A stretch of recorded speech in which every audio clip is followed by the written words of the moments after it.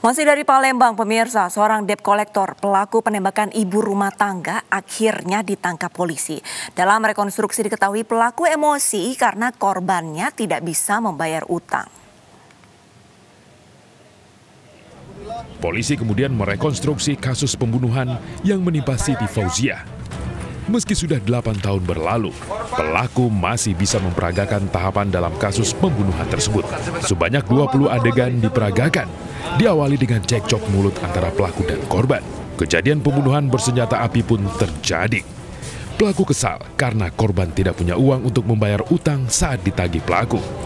Eh, dari rekening korban, saat itu korban sempat berteriak, jangan karena tidak boleh main-main sama senjata api, tapi malah tersangka emosi dan melakukan penembakan.